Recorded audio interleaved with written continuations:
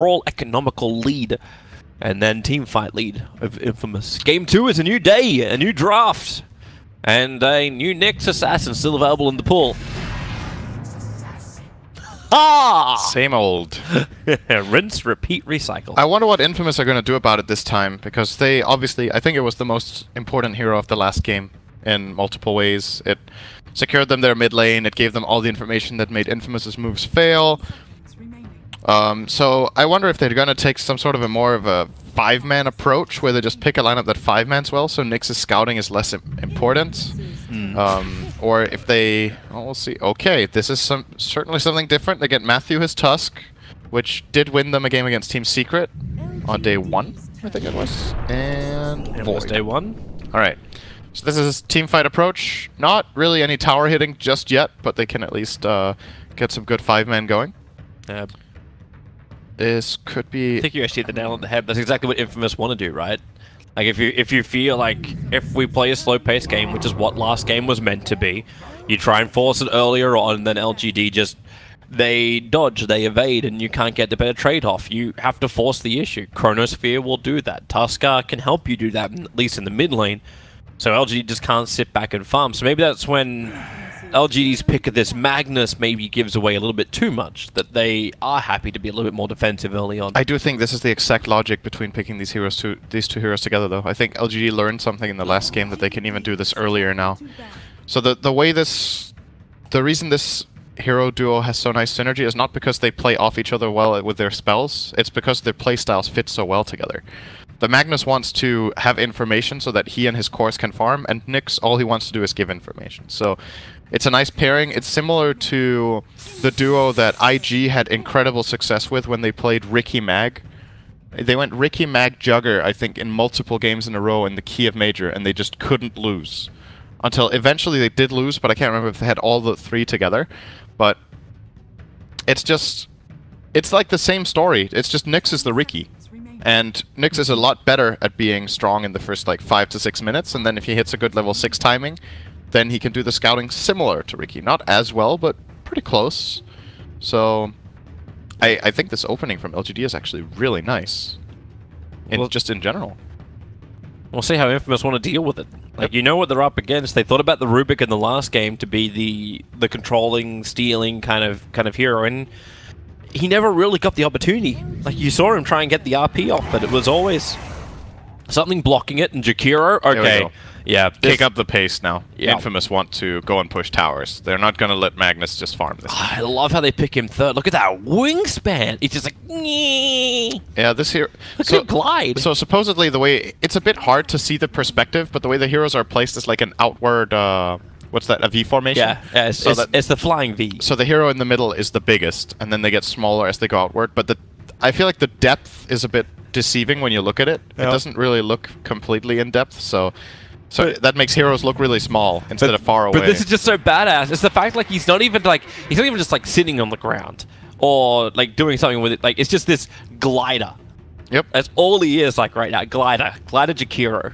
Yeah. Why doesn't the why don't the wings flap a little bit? Uh, they just had that like that the one little animation, but the rest of it he's just like Oh, there we go. Okay, now they flapped a bit. yeah. They'll, they'll flap for half a second and then just glide. I feel like hovering like this would be really exhausting. Well, he would actually have to be He's moving. He's not moving. He's Yeah. hovering in place. he's he's hovering while flying. but then again, Puck is also levitating. So Uh, he has wings flapping. His wings are flapping. true. That's something else. Jakiro's Jakiro does not skip leg day. That's for sure. Just uh, doesn't skip wing day. Wing day. Wing day. Wing day, not leg day. Look, look, look at his legs. Like, Uh, he skipped leg day like every day. What actually. you what you don't understand is underneath what looks to be like like claws and talons, they're actually just like big rubber gloves on his on his feet, and there's just like these tiny little hands underneath because he never uses them, I mean, it kind of does look like gloves, right? Yeah, they actually do look like gloves. Get on it, Valve. This guy- Okay. this guy's ready to have like a dishwashing session. Gotta clean up. So let, let's uh, let's ca- let's catch up. We got a Yep. KotL. Um, this is LGD's response to the infamous information that they give them is that okay, we want to try to push our towers with the Jakiro, and then LGD like, we want to defend our towers because we want to farm. Mm-hmm. Um, so they get the Keeper of the Light. It's a pretty good hero against the Jakiro style push, where you set Jakiro in with Liquid Fire, and maybe you have another hero hitting it simultaneously, and then Kala can try to defend it with Illuminate. And Infamous grab their puck again. So I think Infamous will need more push than just the Jakiro. I don't think that's going to cut it against this if they want to play that way. Oh, LGD are going to make this game go nicely split with the Ember Spirit. Able to jump everywhere across the map, still be there for, for good team fights. But I agree with you, Infamous need to have a really strong pusher, someone that's going to be able to function with the the five on five lineup. They banned at the PL. I don't know if that gives us some kind of insight into their last pickup. Like, who does what one position does PL normally cause trouble for? Oh, there's multiple heroes that PL can be annoying for. I'm actually not really sure what the idea is here. Uh, Infamous might want Drow. Hmm. PL is good against Drow, and uh, Drow is good with Puck and the Jakiro, and then they have more push, and they could try to five-man. I think it's still going to be a difficult game to play, but it is an approach that could take this game if they Yep. manage to organize their pushes very well. Razor banned down by most- LGD. It's the most likely for me, actually. It's also a hero that uses Chronosphere fairly well when it's farmed. Drow can get a lot of hits off and get kills. Just conceptually, if they go for Drow, I think I like their draft more this game, they're going to get PA instead, though. okay, Dro's, Safeguarding themselves. Dro's not happening. It could still happen. But at the same time, this is this is nice for Infamous. Like, you don't have that much harassment if they decide to have like some aggressive style lane, leaving the Void up on the top to go one on one with the Magnus. Then the Jakiro plus one can be on bottom lane, so the Tuskar roaming around. Like, this kind of stuff is possible, and it's very easy to harass with a Jakiro. Yeah, they could Very just play. They could just play the Void Carry, of course, and get an They off could. laner, or get another mid hero and put Puck off lane. There. E- Even Void and Jakiro together, dual offlane is fine too. Like, Uh, whatever they want to do. it's- It's fine. There's plenty of options here for Infamous to move their heroes around as they please. I think the thing that is more or less locked is that you want the Tusk on support. You could even put Jakiro mid. Uh, we haven't seen that for a while, but it is a possibility. Who's the best hero against a PA? If you could have anyone, who's the best Ah. hero against the PA? Hmm. Good question. Because the Ember, I think they're they're able to deal with what, with what they have at the Yeah, their, their heroes are okay against Ember. But they need a controller against the PA. They don't have magical burst damage. It's so always hard to answer those kind of questions without looking at the hero roster. It's. I'm gonna. I'm Yeah, gonna just just hit the button. quickly have you a can look. you can still watch the draft of my screen. You're fine. Yeah. Um. Is this when you get your Zeus? So, so generally, I think what what PA struggles against is heroes that have really high spell burst in the beginning, but that also can transition into dealing physical damage later with uh, MKB or Silver Edge. There are a couple of like hybrid heroes of that style. A farmed Shadow Fiend can be pretty difficult to deal with. He has the raises early on, and he wants to go Silver Edge. That is a good pick against PA. That type of hero. He's available, not banned out, Yep. Uh, and we get a Death Prophet. DP is actually not bad either. She has uh, some magic damage early on with her Crypt Swarm, and the ghosts can't be evaded. So I, I like that pick here. I think it's also a good lane matchup against Ember. So and it's good synergy with the with the Chrono. I think this was a really nice pick actually from Infamous. It also gives them the pushing that we wanted from them. So, Everything. looking at this, that that that might have been the perfect choice for this particular game. I'm very excited for this pick from Infamous. I think that shows very good understanding of what they need to do. Did you ever watch um the Neverending Story? No. the movie Neverending Story. That's a shame for everyone who's listening in right now. Does Keeper of the Light's horse not look like Neverending? I don't know. He has horse, two horses on my screen. but with wings. It looks like an abomination. that keeps happening to you, but the the, the Jakiro looks amazing. I think it's because I when you tab out to look at heroes or whatever, it reloads it. yeah, and then gives you multiples. Oh, now I only have one. When Oh. you tab out again and back in, or not tab, but just go to the menu. PA looks so cheeky with that mask on. And she gives this grin when she does her taunt of just like, eh, my swords are bigger. I, lo- I love that Arcana though. I think it's really nice. Yeah, that does actually look sick. But Uh, she she doesn't just have the base arcana. There's there's more with yeah, that. there's there's more, but what I really like about the Arcana that PA has is that it's very, in a way, it's it's very clean. Is the best way I can explain it. Like there, there's really cool animations. There's, but it's not over the top. You know, for my taste, I just think it it's just the things it edits in the game and the way the hero works and the way the audio goes and the like the sound you get when you crit. It's like Yeah. it's just it's just clean for me. I think it's very it's one of my favorite items in the game is the PA Arcana. It's very very nice. All right, let's uh, let's talk Dota. Yeah. Well, it's still Dota. Yeah. Are we Dota? But uh, let's talk uh, competitive gaming. Okay, competitive gaming with predictions. The players will give us more time for this. So, team with the first Roshan kill. Infamous be focusing more on towers, so I kind of lean with the, the PA side, going for getting Roshan earlier. It both teams can take it. It's like strictly from a draft perspective, I would give it to Radiant, but I just think LGD are the better team, and they're gonna get it. That's the Yeah. only reason. Team who places the most observe wards by the end of the game. Coin toss. Who do you want? Uh, I'll go with LGD Alright, just because I take think they're still going to win because they're going to have more money. Play with the most kills at 10 minutes. Ember. I- I'm I'm getting Somnus this time. I'm not gonna make the same mistake again. I'm going to go with Tomato. All right. I think Tomato's going to have the success. Longest on. kill streak. Oh, PA. I could definitely see PA, but at the same time, it's not the best PA game ever. I actually think Ember has a better a better matchup in this game than PA does. But then PA gets like a like a rampage. I'll do Ember as well. Let's go. You, do can, you can you can do PA. I, I, I'll go. I'll go with PA. I'll go with PA. it's more exciting if we have different choices. Okay. It, it's ex- it's exciting for us, but we're not helping the people at home if we're doing this. Like we're at least giving you two options to choose from. We're showing you all the wrong picks.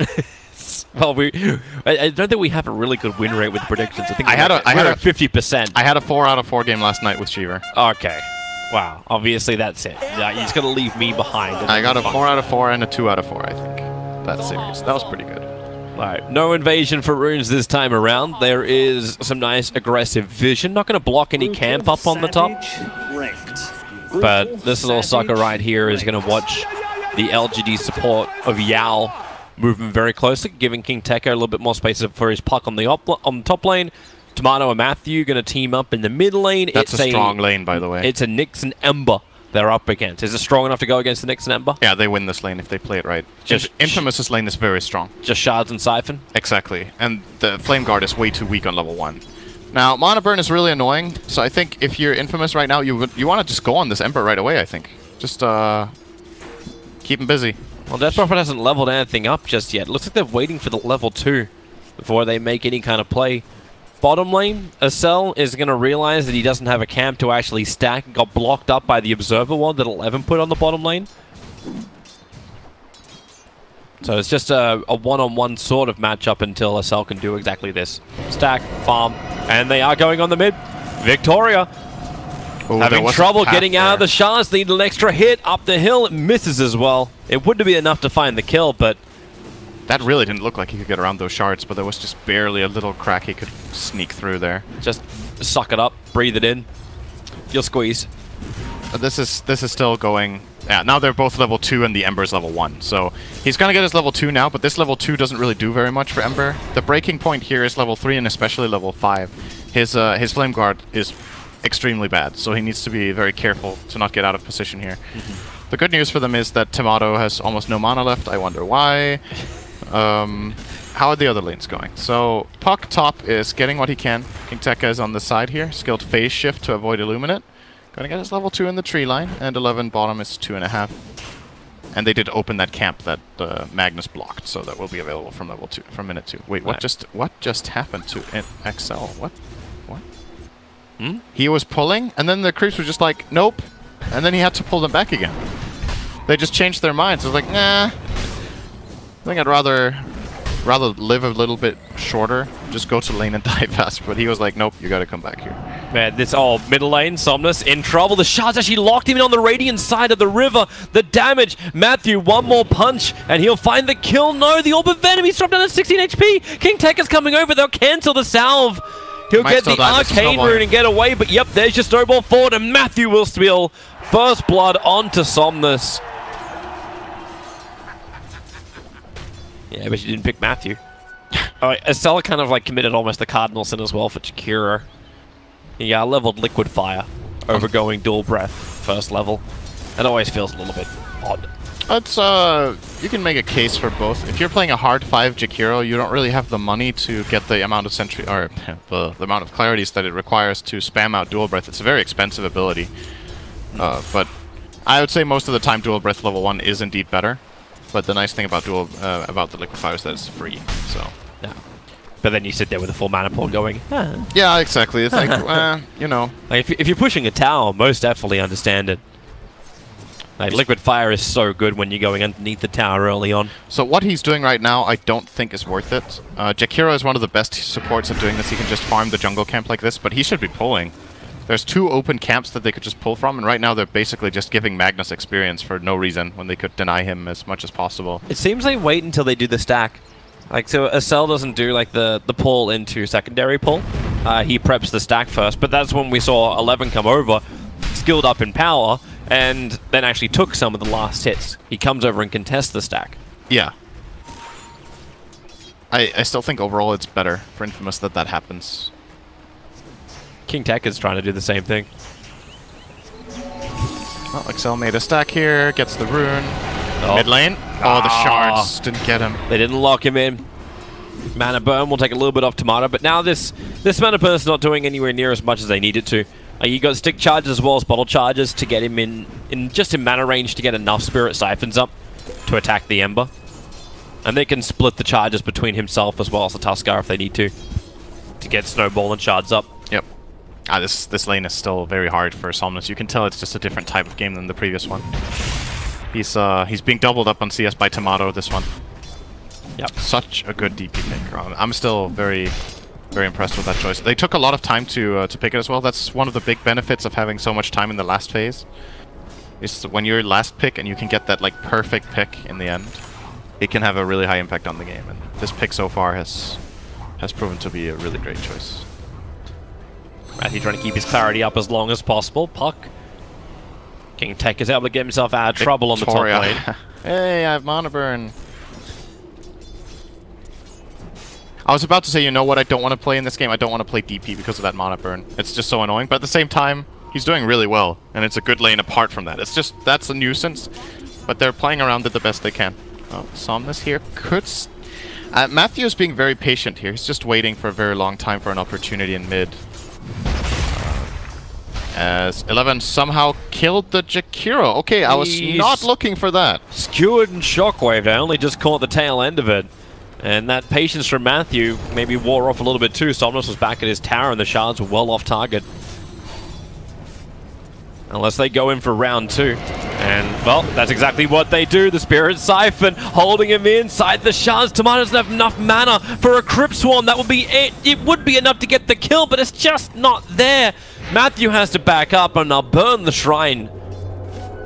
So all three players from LGD will come back up to full health and mana.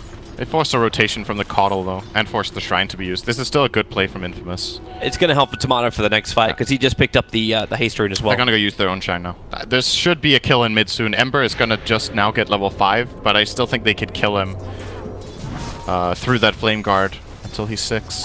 This Phantom Assassin has been having the best time of anyone though. Like he's sitting at 3k net worth up on the top, completely uncontested. Hit is level 6. Like Kingteka is getting as much as he can out of the lane, but there's only so much you can do against a PA. Yeah, this is... Uh, I mean, it's a pretty good lane for Puck in a one-on-one scenario, but the, just the impact of the KotL in the beginning is enough to make Oh, this... Snowball! Wow, that's deep! To the tier 2 tower, in fact. They committed the exorcism, and Tomato, thanks to that haste rune's got the movement speed to get away. Matthew may not be so lucky. The stun uphill from Victoria, able to connect to the Tuskar, hoping that 4 armor is going to protect him, plus the boots, a quick slow, and shockwave. It was a skewer slow that found that kill, and, uh, well, I was kind of waiting for that when PA hit level 6 to get a kill, and it happens. Puck will drop. Went to KotL, though. Guess he got him with an Illuminate there. And Yao is being very efficient, by the way. That's one of the benefits of KotL. If you if you compare the KotL and the Jakiro, KotL is a level and a half ahead. He's just getting a lot more out of the pulling and farming top than the Jakiro is. They're coming again. Spirit Siphon. Somnus doesn't have a Spirit up. There He goes the Shard. Starts the Spirit, and we'll be able to get away. They're gonna need to skill Silence now to kill him Yep. on the DP. That was good stuff.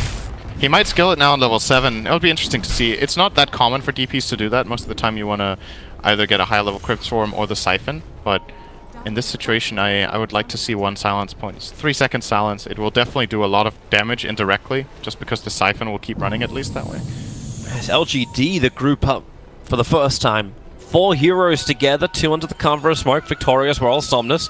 They'll move around the Dire Observe ward, finding Matthew, allowing him to get that easy center pill for, for uh, Victoria. And Snowball, well, save for a second, and the Sharks give him vision to go down to the camp. Somnus will follow through with the Fire Remnant and get the kill. So, four heroes rotated. They do find one kill. Somnus needs to get another kill want. in the next 1 minute and 35 seconds. That's a lot of pressure. Yeah, let's go. Why, why are you putting that time limit on him? Because at 10 the predictions end. Oh. And he's currently one kill behind Matthew.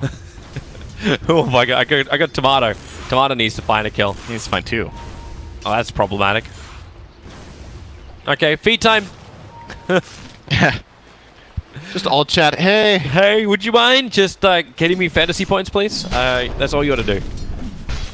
And We haven't seen much of the Void just yet. It's been 9 minutes and he's kind of just been farming bottom similar to what the PA did. I wonder when they want to activate this Chronosphere, because their lineup is very, very good at playing around it. but they need levels on the Jakiro before that's really going to work. Like, it's good with DP. there's yeah, DP DP can function with it, but DP's kind of like comboing with the Tuskar at the moment, and it's too far to connect the two. But on bottom lane, just forcing the tower down with liquid fire and dual breath, and there's just no easy kill. The KotL has joined bottom lane to try and delay this tower, and that I guess the Mag is just gonna leave, go to the jungle. Let KotL try to repel the bottom push as long as he can. Seems easy enough. He's gonna lose the tower on this wave, I think, if he doesn't get help. Void can just time walk off the Illuminate, and the the wave is still gonna be alive. The Jakiro will get hits in. Actually, with both of the calls off the lane. Well, they need Like, to use ice shards as well. They need to nuke out the lane. Oh, oh okay. That's that didn't hit anything. It's looking for Yao in the trees. No, not getting it like this. This is taking really long. This is actually super good for LGD. How long time this tower push is taking, how much Yao is getting out of this indirectly, just, just buying time for his team, you know? Mm-hmm. There it goes. It's gonna walk that off and then start hitting. Jakiro needs to get over there now. Yep. Liquid fire. Liquid liquid fire is required to keep diving the tower like this. Same time, Death Prophet's had the time for life. Like, you rotate down to the bottom lane to fight this, she's going to burn Exorcism and take the tier 1 tower in the mid. Or, worse, TP down and then uh, it's it's Infamous fighting underneath their own tower with Chronosphere up. Oh, Victoria so Victoria moves over. They'll put the Liquid Fire in to start with. Dual Breath going to catch both Somnus as well as Nyx Assassin and the Chrono. It also grabs both, but support is here from LGD. Yao, that Illumina did so much damage. Faceless Void cannot time walk in time. Mainly because he was RP'd up. So two heroes lost, Chrono burnt, and it's LGD who are the ones that get the two kills and the T1 tower on top lane in favor of Phantom Assassin. Yeah, they didn't have uh, DP connected with that Chrono. That's the Is problem. she gonna kill Tomato? She jumps in, Mask of Madness is up, look at the crits, and the Illumina from Yao will find the kill. And while all that's going on, a Selby gets picked off by Victoria as well as Somnus. LGD have just, they've uh, put the foot down. They're ready to run. Uh, this is this is such a big minute for them. Pretty much just went from a fairly close game to very LGD sided with those that sequence of events. The fight bottom, the kill top on the tower, and this kill on the DP mid, who is the the the one hero on the Radiant that was having the best game is now being slowed down as well. And Ame is yeah, Empower gonna be starting to farm up very nicely. He does so much damage so quickly too. The bottom tower is finally falling. I'm like, I'm wondering even if Spirit Siphon is going to be strong enough to stop PA from killing everybody. You snowball to protect yourself from the stifling dagger, Oh. and there it is again. You'll have to flip him up, and the shards, it block, blocks out a little bit. Kingteka, do you want to commit the Dream Coil for this? There is no real follow-up. Has to phase shift away from the Shockwave. But then in another side, it's Tomato getting caught out by Somnus and Victoria. Accel, a dual breath, at least try and create a little bit of slow and burn damage, combining with the Crypt Swarm, but Somnus' Flame Guard protects him from most of this. Both teams are going to shrine. They, they want to look for a fight now with this uh, Vendetta. Flame Guard is up in 15. They can just go again straight away. Try to look for a pick. This Void would be a very good kill for LGD. Just the other other thing as well, the fact that KotL, if he uh, chakra um, the PA, you got double stifling daggers too. Strong. Like that's so much burst damage, which you may not be expecting. And here they go. You actually do the Chakra instead onto the Ember Spirit, so it's the Searing Chains with low cooldown. The stun Oh. well off target from Victoria, but they blinding light him back, and she doesn't work with Somnus because his Spirit jumped forward, so Benjaz finds the space he wants to just time walk away. A little bit of miscommunication and mistiming from LGD there. That's going to cost them a bit on their mid tower. They'll fight mid. And they jump. It's actually, oh, the damage. to Tomato, the RP! Skewers into the two of them. Tuskar was meant to be the aggressor. And it turns into a double kill for Ame. And this could also be the mid tier one. They will push pretty fast. They have two empowered heroes.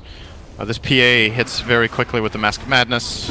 It actually turns it into a decent pushing hero. Look at this. Silence up on top lane. Ember, Somnus. Actually, his Flame Guard still doing work, protecting him from the damage of Accel. Victoria's moving into. He just needs to attack one time into Kingteka, able to do so, and the stun. Ah, didn't go for both. Was just happy killing off the core.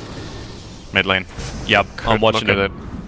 The hilarious thing is, is Yao, who's currently got the best kill streak at three to zero. but there's a couple of swords in the ground in the mid. I, I always love this. Like you want to talk about like the great Arcanus, how they have the little words like "Don't leave me here" from Matthew, ah, That's pretty cool. and the, The- and the uh, damage output, or like what were the chances? RNGesus.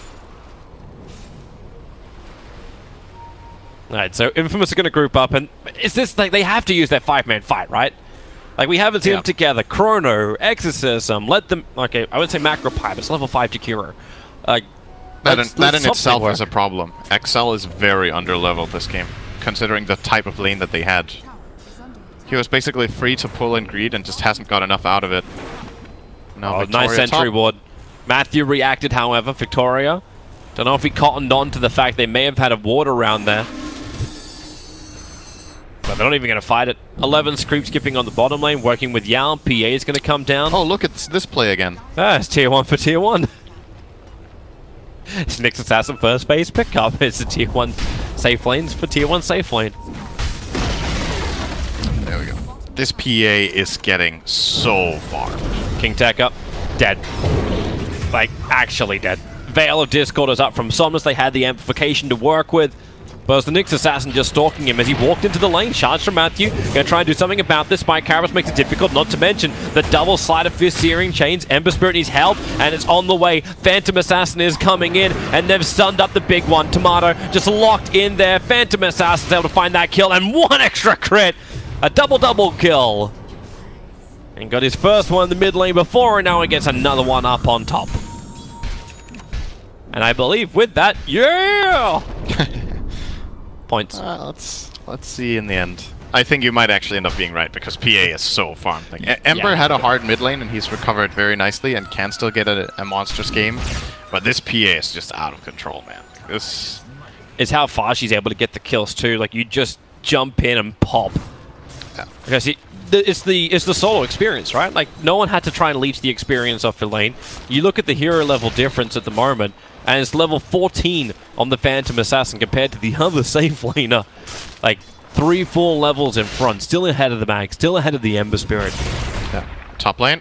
They found the fuck again. Yep. In the tree lines, Kingteka, snowball forward, knocking me off control in time. Victoria finds that kill. Chronosphere is nice on two, but the RP pulling Tuskar out as well as Matthew Benjaz. They're beating up to Victoria. They're able to get the kill to the next assassin, but here comes your Phantom Assassin. Jumps forward, Oh. mid-time walk. Say goodbye to Matthew. What's the next target? Tomato is nearby, and well, you've got the lifesteal. Why not? You want to go? Tomato, he's hiding behind the tree lines. He'll turn on at least the exorcism. Ice Path will keep him away. The shockwave does its damage. Here comes Somnus. Gets the searing chains and now blink in and the damage. Somnus will take the kill.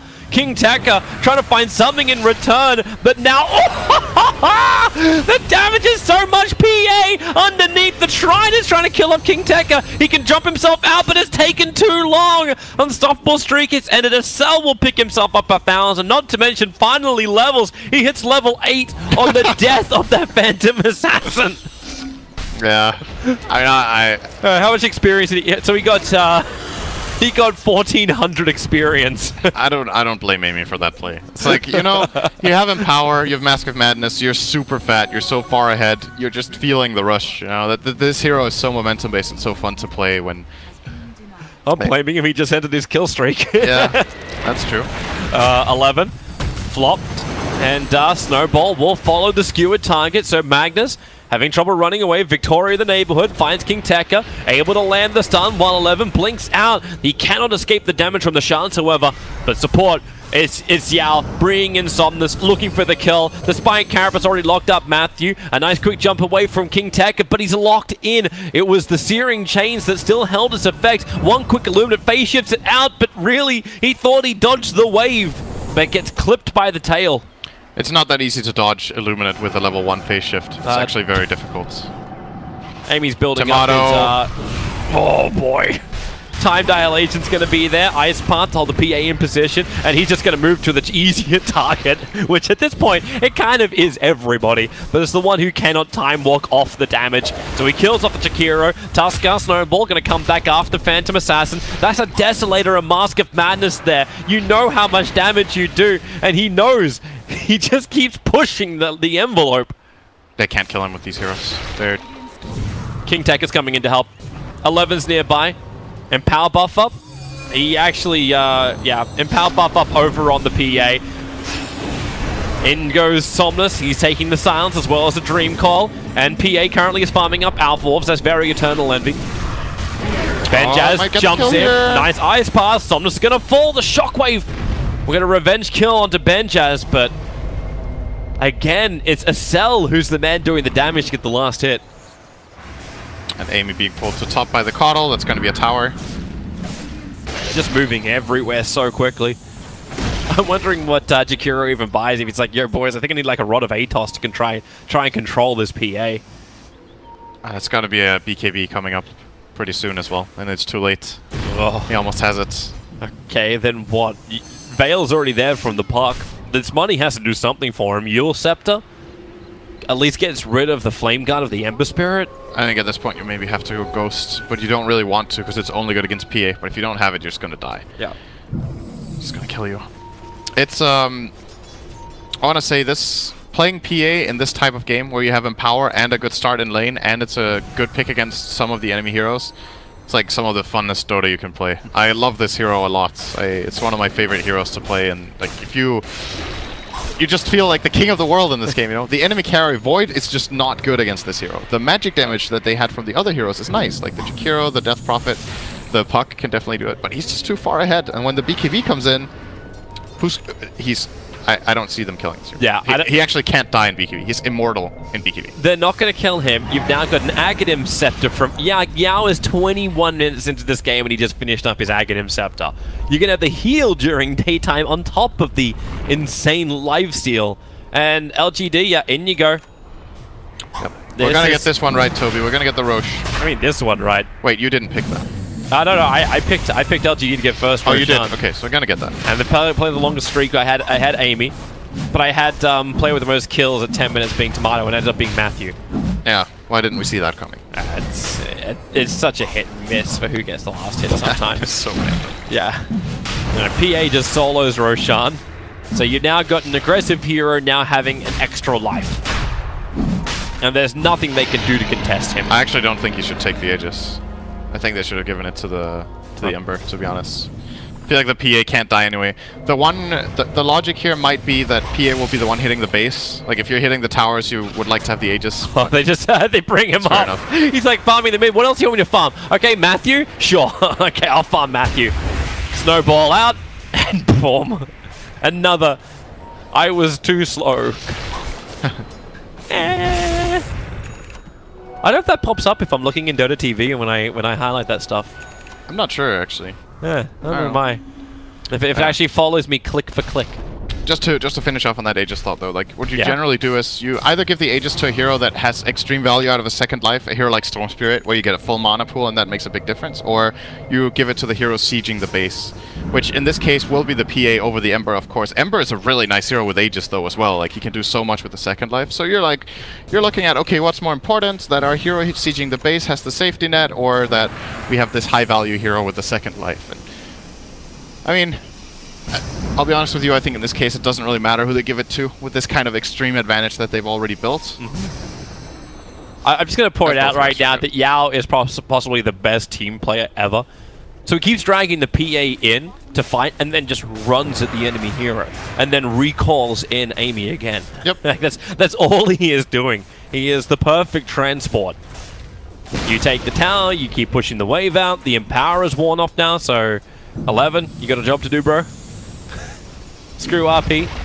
It's called is called buffing the PA. And there you go. Empower. Oh, he's to wait two seconds. This is this is inefficiency. Done. God damn that PA. She's gonna have a butterfly by 25 minutes if, if this game if this game keeps going and the rate's going. Yeah. Well, found a target down in bottom lane. Tomato caught out. Searing chains will hold it there. PA not nearby, so they're not finding that early crit. But with the now. fact the Spirit Siphon is there, here you go. 11 pulls him back into Yao's Illuminate. And into two stifling daggers. It was the double daggers. Yeah. I, I don't even think the second one reached in time. What happens with the uh, talent tree though? Like when you do chakra as well as like the level 25, the double double. Yeah, double double. Oh, Puck jump down. Okay, Ame's actually focusing now on objectives. Beating into the tier 3 tower, getting rid of this. Is daytime now as well, so Yao's sustain to this team fight is, is insane. Everybody heals up. Never-ending spam, never-ending vision. And I'm wondering how long it's going to take before Infamous just agrees that this game is done. Because LGD, like, it would take a miracle to win this, and maybe they can find it. You got your first. It's the faceless Void Chrono, but Jakiro was too far away and didn't have Macropyre available. Dream Coil RP is down. They're looking for the damage. The BKB protecting Tomato. Now it's up to the Snowball to do it. They pull them all in, but two are straight away. Triple kill. When everyone's that close, the cleave is even easier. And Phantom Assassin will end this game 13-1-4, 14, 14-1-4. Phantom Assassin, three corrects and 75%. oh. Brilliant Wait, wait. game for LGD. Oh, they placed the same amount of wards. I picked Infamous for wards. We were both right. we were both right. Yeah, both placed 11. Well played, Cinderin. Well we played. go. Uh, you got you got one more than me again, Toby. It's, can't live with this. That's it. Next game, Cinder will be doing the play-by-play. I'll be doing the analysis, and uh, it will be the worst cast ever. I'm down. Yeah, yeah. I'm sure I'd be good at play-by-play. Your analysis, not so sure about. Um, I think Valve just cottoned on to what we wanted to do, and uh, we're being replaced for the next game, so uh, we'll have different casters for the second series. We got fired. See you guys. Yeah, but we'll be back for uh, for game three. I think it's up to Cap and Draskyl uh, who are stepping in to cast the next games up. But we will be back later today for series three and four: EG versus Infamous and Newbee versus HR. But stay tuned. There is more Dota coming out in all four streams. We are, of course, number four here at TI7.